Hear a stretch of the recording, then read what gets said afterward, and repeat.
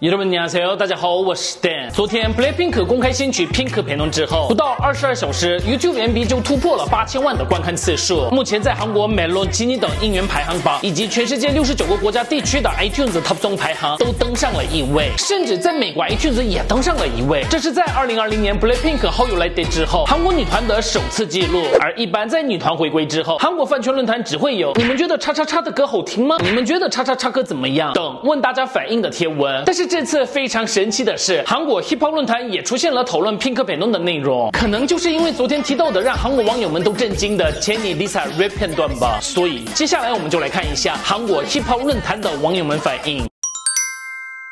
酷跟 beat 虽然很普遍，但是 rap 部分太好，所以会想要听。这次的新曲在 rap 部分，海子忽然变成了 G 风格，在 K-pop 尝试了 G 风格的部分已经很神奇了，甚至千妮与 Lisa 还很时髦的唱了出来。再怎么说是别人给的词，但是能将九十年代感觉的 G 风格，能这种程度唱出来的现役女 rapper 也不多的。这个实力不发表一张 rap 专辑的话，真的是太可惜了。就算算上男 idol，能将 G 风格这样唱出来的 idol 能有几个呢？是吧？Lisa 千妮真的很厉害，一直在反复两个人唱 rap 的片段，耳朵都高潮了。千妮跟 Lisa，拜托你们做一个基电 top 第二季。吧，嗯，所以大家最喜欢 Pink p e n o n 的哪一段呢？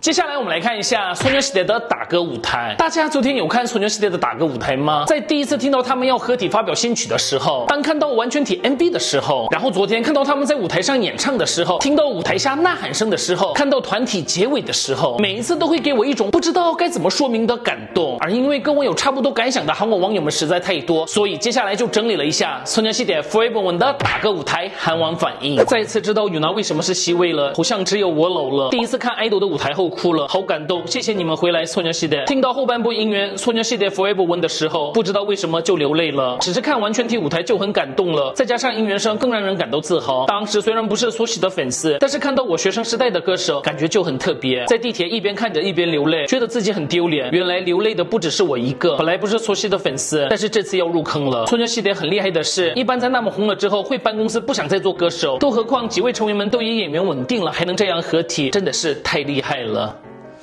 对，一个登顶的二代女团都到了不一样的公司，还能发表正规专辑、召开见面会，真的是一个奇迹。然后就像留言说的一样，UNAS 好像等一演员成功的成员们也这么多，但是也不会说想要删掉爱豆的形象，对村娇系列感到自豪，真的是谢谢。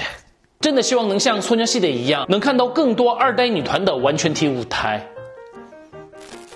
今天最后一个消息是在韩国 Mnet 去年推出的选秀节目 Girls Planet 最终选出了九人组合女团 Camper 了。而目前 Mnet 正为了2023年推出的男版 Boys Planet 招募参赛者当中，只要是2010年1月10号出生，不管你有没有出道过，不管你有没有经纪公司，都可以报名参加。所以有兴趣的男生们赶紧去报名。还是那句话，如果顺利出道了，千万别忘了以后在直播的时候提一下点书。